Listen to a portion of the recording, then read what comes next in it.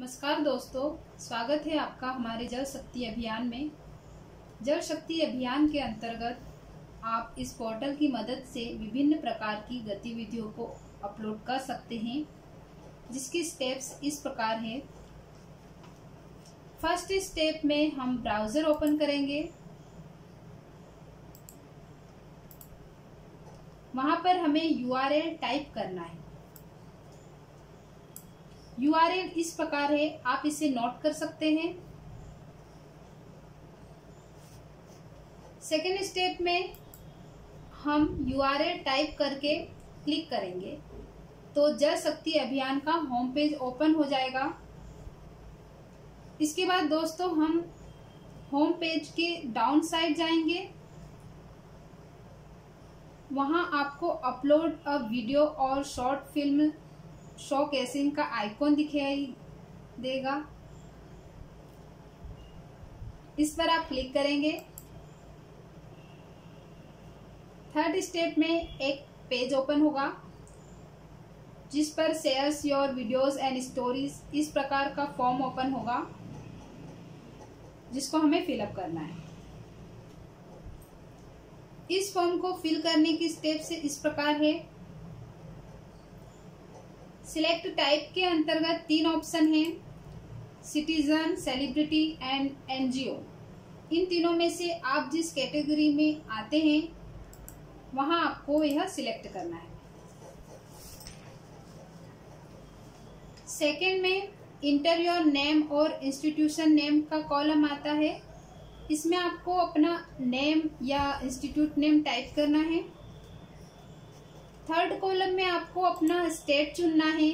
जैसे मैं एमपी से बिलोंग करती हूँ तो मैं एमपी सिलेक्ट करूँगी।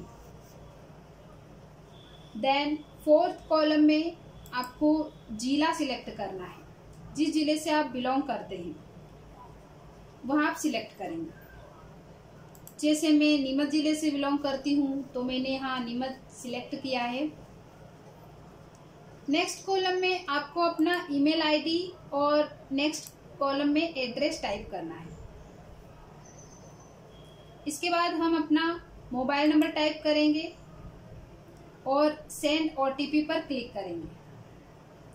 क्लिक करने पर आपके पास मैसेज के थ्रू ओटीपी नंबर आएँगे। इस ओटीपी नंबर को आपको क्रिएट हुए कॉलम में फिल करना है। नेक्स्ट स्टेप में अपलोड स्टोरीज पर जाएँगे। अगर आपके पास इमेजेस पीडीएफ या डॉक्यूमेंट्स फाइल्स में स्टोरीज है तो इन्हें आप इस तरह से अपलोड कर सकते हैं। सबसे पहले टाइटल ऑफ़ स्टोरीज डालेंगे। जैसे जल शक्ति अभियान, स्वच्छता अभियान एटसेट्रा जो भी आपकी स्टोरीज का टाइटल है। वह आप यहाँ टाइप करेंगे। नेक्स्ट कॉलम में जो भी आपकी स्टोरीज है, उसका शॉर्ट डिस्क्रिप्शन यहाँ आप टाइप कर सकते हैं।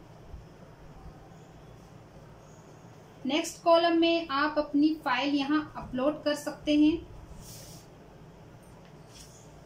उसी प्रकार आप ऑडियो और वीडियो भी अपलोड कर सकते हैं। वीडियो अपलोड करने के लिए आपका यू आर यूट्यूब का होना ज़रूरी है। अंत में आपको इंटर द कैप्चा कोड दिखाई देगा, जो आपको बॉक्स में टाइप करके सेव करना है।